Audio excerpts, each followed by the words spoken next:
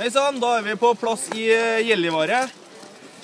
Arrangøren har gjort en kanonjobb i forhold til preparering av løypa. Det er strøkne forhold og raskt føre.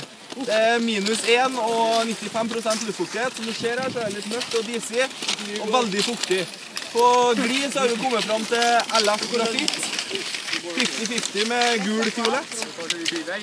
Oppå der har vi lagt 22 pulver og korka inn 22 kloss.